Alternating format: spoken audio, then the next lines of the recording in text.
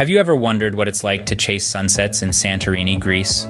Picture a day where the sole aim is to drink in the golden hues of the setting sun, and let's embark on this journey together. Awaken with the first light of day, when the sun paints the sky with soft pastel shades. The island of Santorini, perched on the southern edge of the Aegean Sea, comes alive as the light touches its iconic white buildings and blue domes. It's a sight that never gets old, no matter how many times you witness it. After a breakfast of fresh Greek yogurt and honey, it's time to navigate the cobblestone streets of Fira, the island's vibrant capital.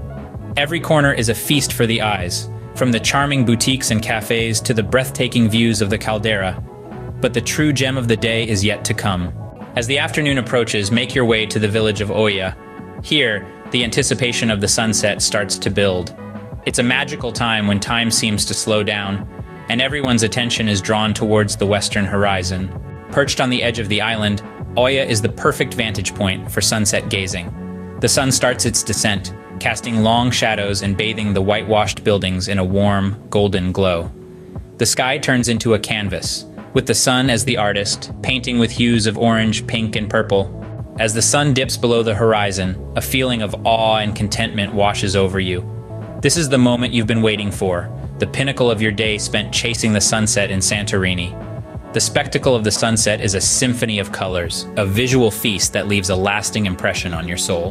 But the day doesn't end with the sunset. As the stars begin to twinkle in the night sky, the island takes on a different charm. The streets of Oia, now illuminated by quaint street lamps and the soft glow from the houses, invite you to enjoy the rest of the evening in this paradise. Chasing sunsets in Santorini is not just about the sunsets, it's about the journey, the anticipation, the moments that lead up to the grand spectacle.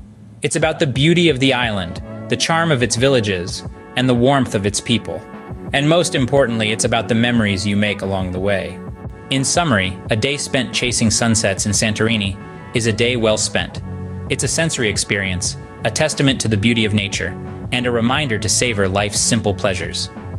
Whether you're a seasoned traveler or someone dreaming of distant lands, the allure of Santorini's sunsets is universal. They are indeed a sight to behold, a spectacle to chase, and a memory to cherish.